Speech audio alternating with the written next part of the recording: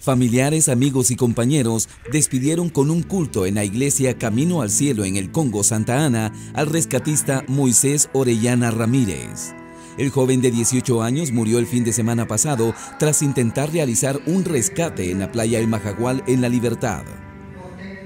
Diversas instituciones gubernamentales han expresado el pésame y el apoyo a la familia de Orellana y han destacado su labor como rescatista.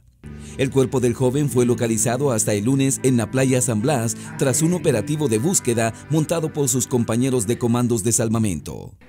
Este es un informe de la.